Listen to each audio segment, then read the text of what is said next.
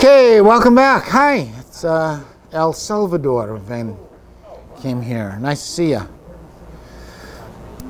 Okay, today's uh, June 26th. Our sermon title is Ascension, Ascension Sunday, because we believe not in funerals and death, but we believe ascending into the kingdom of heaven after we pass away. So I thought I'd share with you some of uh, some of the words uh, from the Bible and other evidence of life after death. I heard this and I thought this is really important the power of not yet. And that is a difference between telling your children you can't do it as opposed to you haven't, you're not able to do it yet. It's a giant difference. And they, they did a study on it that pe- when, when kids are told, when they try to do a math problem and they can't get that math problem right, and they're told you can't do it, or you didn't do it, they become discouraged and think, oh, I can't do math. But they had uh, other teachers who, whenever they couldn't do it, they said, oh, you haven't learned how to do that yet. We're going to show you how to do it. Then they would go on and actually learn how to do it and do much better at mathematics than in the past. So there's two, just two different ways of looking at life. I, that is, I can't do it, or I didn't do it, or I won't do it, as opposed to I simply haven't done it yet. I thought that would be, I think that would be really good for us to understand. Say, I haven't been able to do it yet. And that will help us in our, in our life of faith. Okay, so this is from the Divine Principle book, 73 edition, which I like to read. I know there's a one hour lecture series, which is okay, but I like to read the 73 edition because it's just more thorough. So, this is chapter 5 on resurrection, which always gives me inspiration and hope for the future. It says, God created man to grow uh, old and turn to dust. That's how God created you to be. That's why your organs begin to fail as you get older. Some people get balder, some people get fatter, etc., etc. You can name the your symptom. This would occur even if man had not fallen. Therefore, when Adam died at the biblical age of 930 and turned to dust, this was not the death which was caused by the fall. It's natural to return back to dust because if we didn't, then after a while the earth would fill up and then you couldn't have any more kids because we'd be you'd have 200 billion people on the earth. Well, then you'd run out of space. You'd run out of earth. So God made it so we would continually re- recycle onto the earth with new people, and then the rest of people would live in the spirit world, and it's not much to better place. So we think this earth is just a, a temporary place where you go from zero to 100 and then at 100, you go to the next level of life, which is the spirit world. According to the principle of creation, our flesh is like clothes to our spirit. When you wear clothes, your clothes are not your body, your body's your body. Right? Uh, and it is natural for us to discard our, our flesh when it is old and exhausted, just like we would discard worn out and old clothing. Right? So it's not your body that's most important, it's your spirit. Then our spirit man goes to the invisible world to live there forever. There is no single material being that can perpetuate its physical life forever. Can't be done. All things live, die, and then replaced by what? Younger versions of yourself. Right? Even redwood trees live to be 3,000 years old, but during that time they're, they're giving, well, I guess you can say giving birth, but fertilizing new seeds that are growing up next to them. And when they finally get old, their children will repopulate the forested area. Make sense? Same with us. I'm getting older. I know it's hard to believe, but I'm getting older, and I'll be replaced by baby Lucia and Leo and uh, other, other children. So, let's see, where was I? Mm, then our spirit man goes to the invisible world to live there forever. There is no single material being that can perpetuate its physical life. Man is no exception to this principle of creation the human body cannot live forever. Okay. Genesis 3:19. So let's read about this. This is very important. 3:19 is the curse upon human beings on earth. In the sweat of your face you shall eat bread. Because of the fall of man, in the sweat of your face you shall eat bread. That means you have to work hard to get bread, right? Till you until you return to the ground. Now, this is really important to me, right? For out of it you were taken, for dust you are, and to dust you shall return. So, but let me let me make this point clear. The curse is until you return to the ground. After that, there's no more curse. Let me keep reading to you. Okay. Divine Principle 73 Fallen men are strongly attached to their physical life on earth because, due to the fall, they become ignorant of the fact that they have been created to go to live eternally in a beautiful, invisible world after discarding flesh. Right? We don't know. We don't even know who God is, much less uh, how nice heaven is or spirit world is. We don't know those kinds of things. We're learning and getting better at it. Our physical life on earth and our spiritual life in the invisible world may be compared to phases of a caterpillar and butterfly.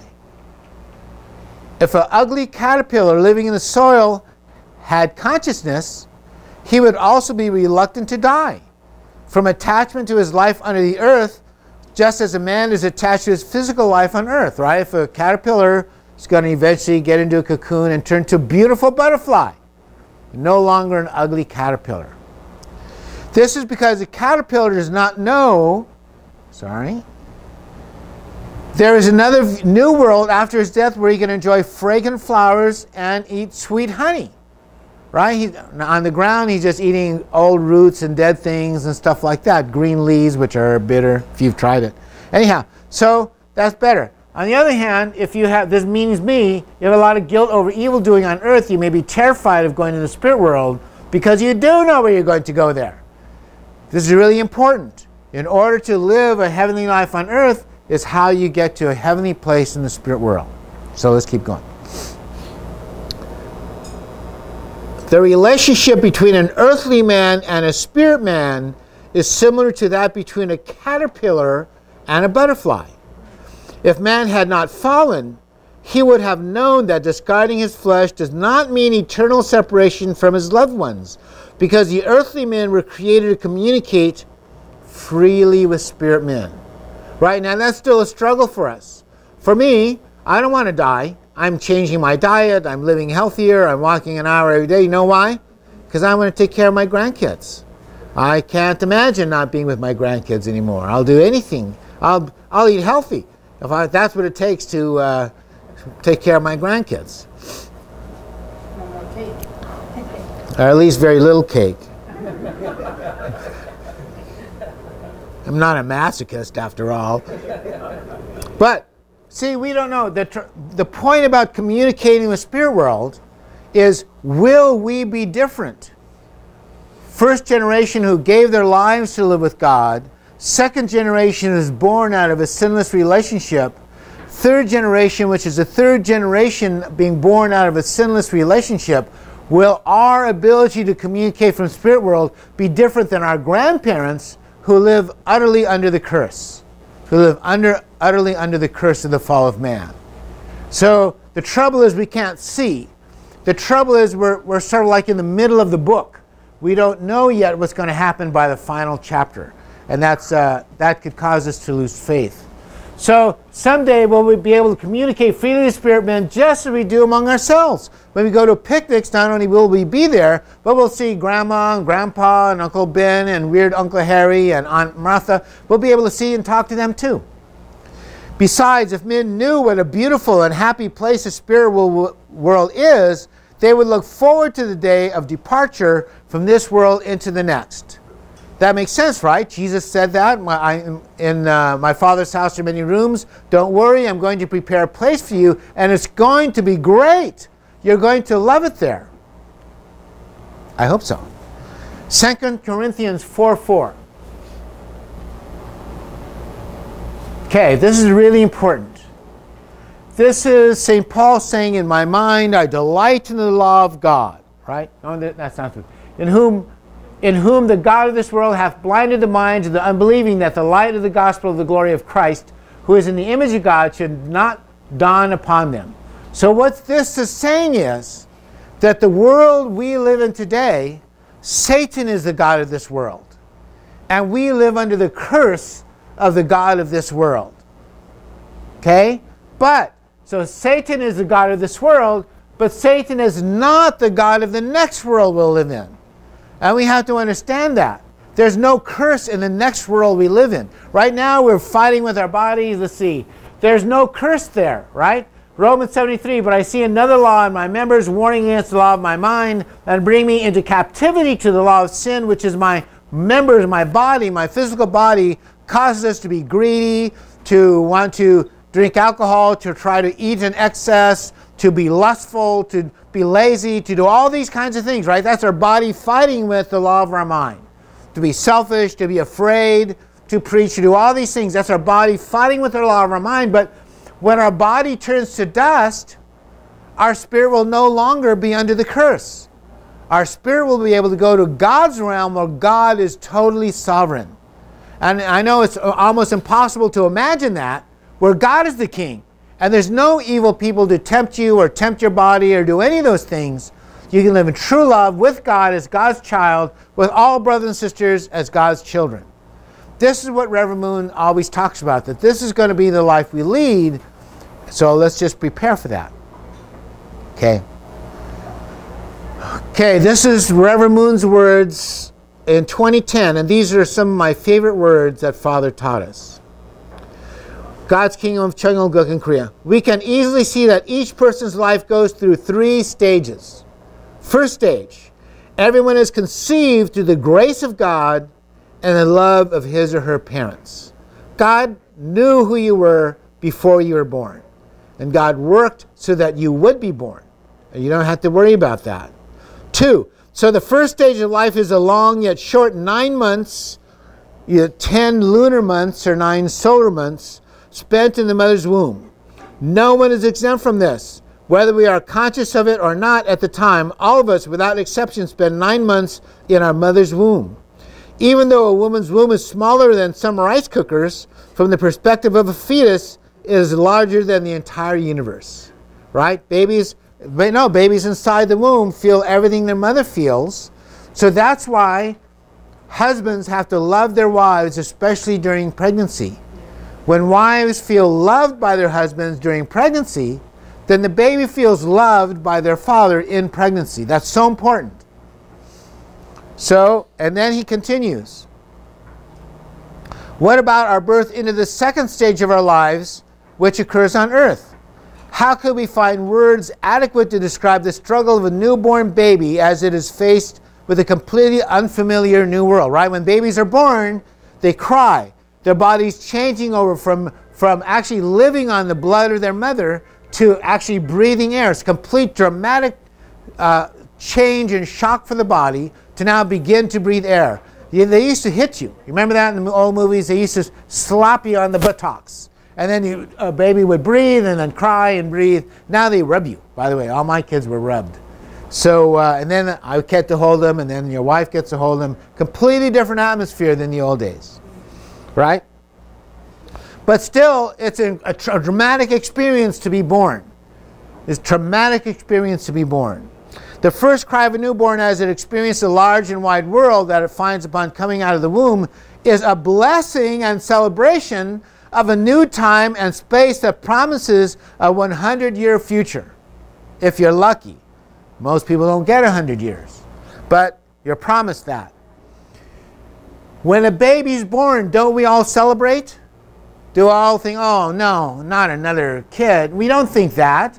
We celebrate and have a birthday party and have balloons and a gender reveal. We're still legal to have gender reveals now. So we still have gender reveals and we have parties and we all pray. We pray for 40 days and we pray for this kid and everybody holds the kid and kisses the kid and goo goo gaga and loves the kid, right? That's our birth on earth. That's how it's supposed to be our birth on earth. Today we are all blessed to be living in the second stage of our lives. Although 100 years is much longer than the nine months we spent in the womb, please do not forget that there is still a course we must follow to a higher end. And that's what Jesus said. When you're on earth, what we have to do is build for ourselves treasures in heaven. And what is a treasure in heaven? It's our love lives on earth especially sacrificial love that you express on earth becomes treasure, gold, diamonds in the kingdom of heaven when you go to the spirit world. Although we have all forgotten the standard of consciousness that we possessed in our mother's womb, and we are now enjoying our lives fully in this big wide world, this is merely preparation for the final stage of our lives, which is eternal life, which is going to be great. Just like a baby in the womb cannot imagine a life in the, in the earthly world, right? Baby in the womb is getting all food, all nutrition from the mother's umbilical cord. But when we're here, you could eat anything you want, right? You don't just have to drink blood from your mother's umbilical cord, right? You can eat cake. You can eat bacon. You can eat all delicious things that you like to eat, fresh fruits, all kinds of things. So life on earth after birth is much better than life in the womb, isn't it? Maybe. I don't know. Maybe. The third stage occurs in the world of eternal life, which we can enter by reaching perfection. This is the spiritual world. It is a world that cannot be imagined by people descended from the fall. That's why we're not descended from the fall. We're descended from the blessing of marriage by Jesus Christ and our true parents. It, it, it is a world in which we transcend time and space. Just as the baby in the mother's womb cannot imagine life on earth, we as people living and breathing air in this earthly world cannot easily understand the spirit world where we will be reborn in our spiritual bodies, living and breathing true love. Do you know why? Because there's no curse in the spirit world. If we live in a world of God's total sovereignty, where there's no more evil, no more Satan, no more temptations, no more fallen nature, no wrestling with your body, just true love. As people face death, they may shake in fear and feel terrified if they do not understand the true meaning of death. Although human history has continued for more than 6,000 years, no one has clearly taught the truth regarding death. Now, in the last days of history, I have been able to reveal this truth, this heavenly secret, as a true parent of all humankind. And I think that's wonderful truth. And I believe this truth myself. By the way, you know, I spiritually somewhat open. I've met Jesus. Jesus didn't give me a tour of the spirit world, but he let me glimpse it. And I thought, that's, this is going to be great. So don't worry. The point is, though, you have to learn to love. That's the secret. If you don't learn to love and love sacrificially somebody else, then you will go to middle realms of spirit world, which are still pretty good, but they're not that great. So here's what Reverend Moon says Ladies and gentlemen, the word death is sacred. Shouldn't be scary. The word death is sacred is not a synonym for, synonym for sadness and suffering. Just like a birth of a baby is not a synonym for misery, it's a point of happiness. Great, a new grandchild. I have created the term seonghwa, which means ascension, to explain the true significance of death. That's correct. It is a time for those of us remaining on earth to send off the departed with joy and happiness. Right after Jesus ascended, what did it say the apostles did? They were all joyful. They all left the place where Jesus said and were all joyful and happy. Yay, they weren't thinking, oh no, Jesus is dead now. We're all, but they were very joyful and happy. It's an incredible experience. It should be a time for great celebration. We should be shedding tears of joy instead of tears of sadness. That is the significance of the sacred and noble Seonghwa ceremony. It is the first step towards enjoying eternal life in God's embrace. The moment of death should be a time of greater excitement than that of a newlywed bride going to her groom's home for the first time. I guess for the husband too. Anyhow. So I thought, so for us, most of us believe in the spirit world.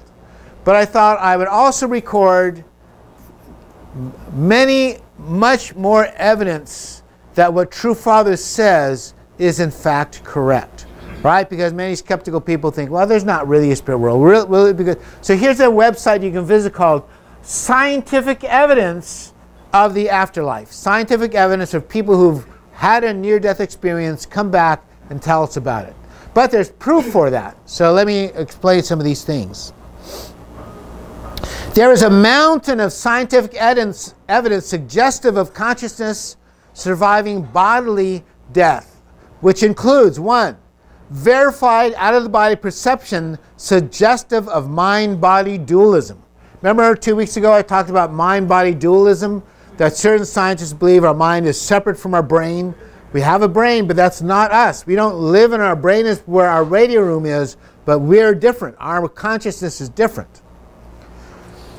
So, and I'll read some of these to you. When people have an out of body experience and they float, they see things that otherwise they could not know was taking place, except that they were separate from their body. Two, uh, near uh, death experience, perception of people who were born blind now can see things in their spiritual body. Two, the vivid remaining NDE memories, which are not possible with brain anomalies. So when the brain is completely shut down due to, due to uh, anesthesia or is dead, some people are actually made dead so that they could do brain surgery or heart surgery and things like that. But their brain, somehow, their mind is still recording events. I'll read some to you. The dramatic after effects resulting from NEDs which do not occur with brain anomalies. For example, what about atheists who have a near death experience and see God in their spiritual body?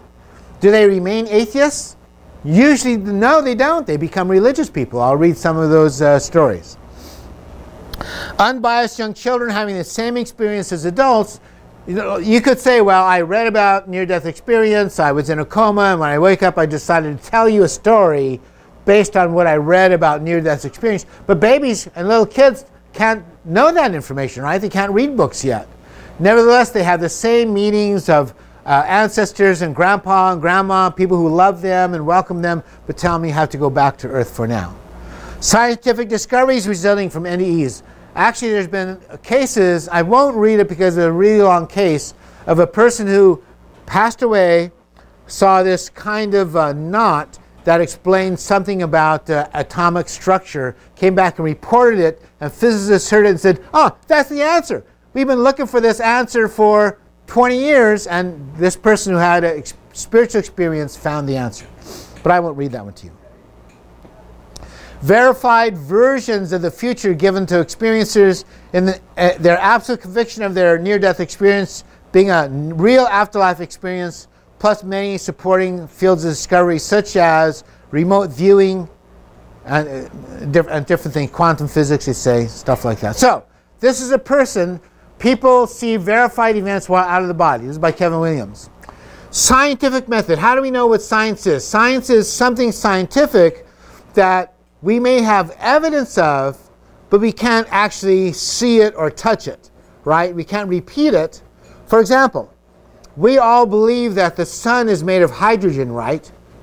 What, do you know why we believe that? Do you know why we believe? How do they know? It's, they can't go there and take a dip out of the sun oh yeah, this is hydrogen.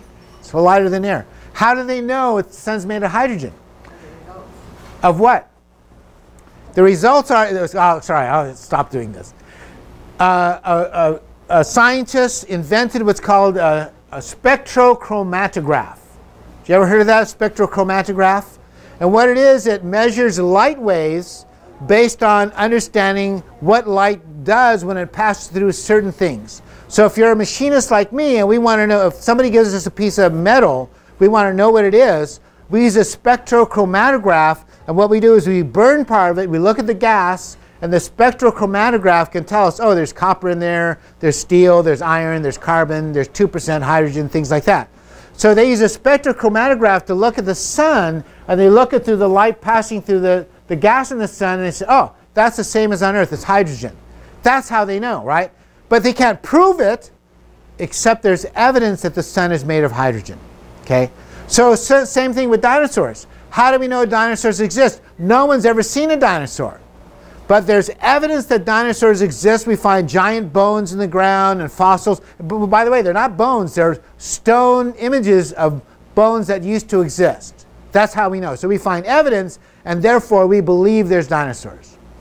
It's the same with out of the body experiences. You can't prove it. You can't put a spirit in a bottle and show it to people and say, see, here's a spirit. You can't do that.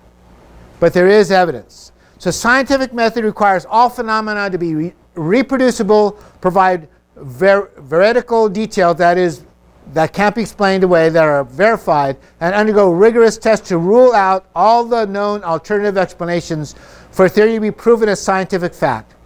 However, good scientific evidence for survival can be found in other realms of research such as quantum physics, consciousness studies, remote viewing, and to, not to mention the mountain circumstantial evidence. So here's some of the circumstantial evidence that you have a spirit that will not die when your body turns to dust. Example number one an elderly woman had been blind since childhood. But during her NDE, the woman had regained her sight, so she was floating and watching the operation, and she was able to accurately describe the instruments and techniques used during the resuscitation of her body. So she could see, oh, there was a clamp, there was a this, there was a, a knife. She can't hear that, especially she was under anesthesia, but she says, I was floating above my body, seeing you use this, and then you use that, then you had the saw, and then you had this, etc., like that. So she could, she could see these things while outside her body. After the woman revived, she reported the details to her doctor. She's able to tell her doctor who came in and out, what they said, what they wore, what they did, all which was true. Right? So they knew this is true. The thing that she saw, we have evidence that she could see something while her body was utterly unconscious. Number two, in another instance, a woman with a heart condition was dying at the same time that her sister was in a diabetic coma in another part of the same hospital. The subject reported having a con conversation with her sister as both of them hovered near the ceiling watching the medical team work on her body below. When the woman awoke, she told the doctor that her sister had died while her own resuscitation was taking place. The doctor denied it, but when she insisted, he had a nurse check on it, and the sister had in fact died at the same time that, the, that she had seen her die in her out of body experience. So there's evidence that people can see things out of their body and come back and prove that they, it was impossible otherwise than how that happened. Three, this is a great one. What about atheists who die and go to the spirit world? They don't believe in God, they don't believe in anything. Dr. Bruce Greyson documented perhaps one of the most compelling examples of a person who had an NDE and observed events while outside of his body which were later verified by others. The only way that these events could have been observed by the experiencers was in fact he was outside of his body. Al Sullivan was a 55 year old truck driver who was undergoing triple bypass surgery in 1988 when he had a powerful NDE, including an encounter with a deceased mother and brother in law who told Al to go back and tell one of his neighbors their son with lymphoma will live. Right? he could predict that guy's not going to die. Furthermore, during the NDE, Sullivan accurately noticed the surgeon Dr. Hiro, Hiroyoshi Takata, operating on him, was flapping his arms as if trying to fly with his hands in his armpits. When he came back to his body after the surgery was over, Sullivan's cardiologist was startled that Sullivan could describe Dr. Takata's habit of arm flapping. It was, it was Dr. Takata's idiosyncratic method of keeping his hands sterile and pointing out uh, to surgical instruments and giving instructions to surgical staff. Like he put his arms in her hand and you, you go over there. You go get that. I, want, I need that thing over there like that. Somehow the guy could see him doing that, right? That would be shocking if you're a surgeon. What if you were telling a joke or anyhow? So uh, here's one over. See, this is the atheist one. People have been clinically dead for several days. Listen to this one. George Rodonaia underwent one of the most extended cases of near-death experience ever recorded. Pronounced dead immediately after he was hit by a car in 1976, he was left for three days in the morgue. Can you imagine that? He did not return to life until a doctor began to make an incision in his abdomen as part of an autopsy procedure. Ouch! Uh, that would be pretty shocking if you were the doctor, right? Yeah, stop that. Prior to his NDE, he worked as a neuropathologist he was also an avowed atheist. And there's several of these atheist stories where they saw God and then decided, I don't want to be an atheist anymore. Anyhow, so, so what happened was, oops, wrong button. Yet after the experience, he devoted himself exclusively to the study of spirituality, taking a second doctorate in psychology of religion. He then became an ordained, ordained priest in the Eastern Orthodox Church. He served as a pastor at St. Paul United Methodist Church in Baytown, Texas, Rodonaia held an MD and a PhD in neuropathology and a PhD in psychology of religion. He delivered a keynote address to the United Nations on the emerging global spirituality after he had been dead for three days. I think that's pretty interesting, right?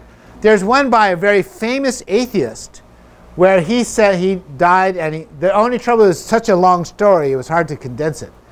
He said he saw, he, when he passed away, he left his body, he could see his body, and then he saw this bright, incredible, gleaming light of love that he called God. That's the other thing. They always find love on the other side, except the ones who go to hell. Now, there's some who go to hell, and then they usually change, repent, and come back and be nice. So might as well just be nice without a trip to hell first, right? Just be nice. Now, this is an interesting one because my wife always asks, well, what about if an airplane crashes and everybody dies at the same time? What happens to them? Do they all know? Listen to this one. A rare type of entity called group near death experience is a phenomenon where a whole group of people have an NDE at the same time and location. This, this is for Suyapa. Yeah. They see each other outside of their bodies and have a shared or similar experience. In 1996, NDE researcher Arvin Gibson interviewed a firefighter named Jake who had a most unusual NDE while working with other firefighters in the forest. What makes it unique is that it happened at the same time as several co-workers were also having an NDE. During their NDEs, they actually met each other and saw each other above their lifeless bodies. So yeah, I guess if an airplane crashes, everybody sees each other, says see you later or whatever they say. Yeah, where do they go? All survived and they verified with each other afterwards that the experience actually happened and is described in a greater way in Dr. Stephen Hoyer Hewlett's book entitled Fireweaver, The Story of a Life, a Near Death, and Beyond. Isn't that interesting? So if you want to read it, here's the book and here's the website. So if you want to see the website, go here filled with stories. It has a whole section. Eh, what happens to atheists when they go to the spirit world? Or what happens to whatever. There's all, there's all kinds of things. Little kids, doctors. Many doctors who've had this experience come back and become religious, right? So anyhow, I thought this just interesting because Father tells us these things, and I want to believe them, but where's the scientific evidence? We now have scientific evidence. Now, Father predicted that at some point everybody's going to believe. Because these near death experiences, you know how many people have recorded near death experiences? 13 million people have so far. And they're writing books, and all kinds of books are being written, and YouTube. If you write NDE and YouTube, you'll see 100 YouTube stories there about people who've seen God, seen angels, seeing all these different kinds of things. So it's becoming overwhelming information that can be as they say, scientific evidence of the afterlife. I wanted to share this because we should pray and acknowledge the safe ascension of our brother and friend Clayton Two Bears, who died last week. Right? Clayton, so again, here's Father's words. Ladies and gentlemen, the word death is sacred. It is not a synonym for sadness and suffering. Therefore, I have created a term called seonghwa or ascension to explain the true significance of death. The moment we enter the spirit world is the time that we enter a world of joy and victory with the fruits born of our lives on earth. With the fruits born of our lives on earth. Our fruits born of our lives on earth, which are, is our sacrificial love for others. In every kind of case, whether it's charity, whether it's loving your wife, whether it's loving your kids, whatever the story is, we have love for other people. Witnessing stories, every kind of story we do that lives for the sake of others that's, that's our treasure in heaven. It is time for those of us remaining on earth to send off the departed with joy. Be happy, Reverend uh, or Clayton Two Bears is going to the spirit world. There should be a time for great celebration. We should be shedding tears of joy instead of tears of sadness. That is the significance of the sacred and noble Seonghwa ceremony. It is the first step toward enjoying eternal life in God's embrace. The moment of death should be a time of greater excitement than that of a newlywed bride going to a groom's home for the first time. Never having been a newlywed bride, I'm not really familiar with that feeling, but I'm supposing it's a great feeling. And now here's two bears, right? Two bears to go pray with us. This was in Virginia. We had to go support the Women's Federation for World Peace ceremony. This is in the Middle East Peace Initiative when we were going to the Middle East, to Jerusalem, to pray and be with people. Here's uh, Reverend Jenkins, Reverend Kwok, Reverend Young. I don't know everybody else who's there. Lots of faces. Marcus Vandymark. Antonio is there. Oh, where? Do you see him? Right next to Reverend Jenkins. Between Oh, is this Antonio? Yeah, that's Antonio. Ah, how do you like that? See? All one big happy family here. And uh, if you don't know, he was a tanker who landed at Incheon during the Korean War. Really? This is him when he was a very young man. This is his training at Camp Pendleton. By was it Camp Pendleton? Yeah, Camp Pendleton. That's what he said. That's right. And uh, of course, this is Father setting little angels to pray for the spirits of our American soldiers who died in Korea. So you think little angels will be welcoming Clayton Two Bears into the spirit world this week? Absolutely, of course. Absolutely. Uh, here he is with us. We had a birthday party for Clayton. We loved them. They had a good family. We loved them. They, they joined our church, in fact, with all our brothers and sisters. Joyful celebration. God bless them. This is just at our church. I know this is, that was at our Christmas celebration. Here he is with uh, Master Sergeant Justin Harding. Uh, remember Fred Park was here. Suyapa, Yuriko-san. I don't know who that is. Anybody have any idea? Oh, that's my. Uh, And here's Matthew and Raina. This I think one? That's my mother-in-law. I. Uh, Oh, okay. Oh, could be. Yeah. Looks like. Okay, great. Yeah. And Yuriko. Yumiko-san, Yumiko uh, Dunkley. Here he is again, good close up there. This was uh, at one of our interfaith events in San Diego. They would come and support us all the time. Interfaith, loving people.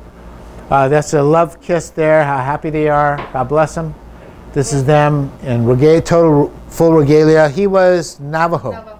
and he was born on the reservation. He would say on the reservation, they were very poor, so he would he would have to hunt rabbits for dinner. He would say his his father gave him 122 bullet. Go get a rabbit, kid. So he had to be a very good shooter in order to do that. Anyhow, this is his application for the blessing. He did pledge uh, blessing ceremonies. They were they were blessed with us. Did all the things necessary to receive a, a true blessing. Uh, this was uh, Israel at the same time. Israel and Moss were blessed. And there they are now. Unfortunately, Anita called today. We should celebrate. To say Clayton has passed. Funeral is planned for July 16th. I don't know any more details than that. They're planning those details now. But we should celebrate, love Clayton. Everybody should pray. We should pray for a safe ascension for 40 days after to make sure he's protected during that, uh, during that ascension. Amen? Amen. Amen. Thank you very much.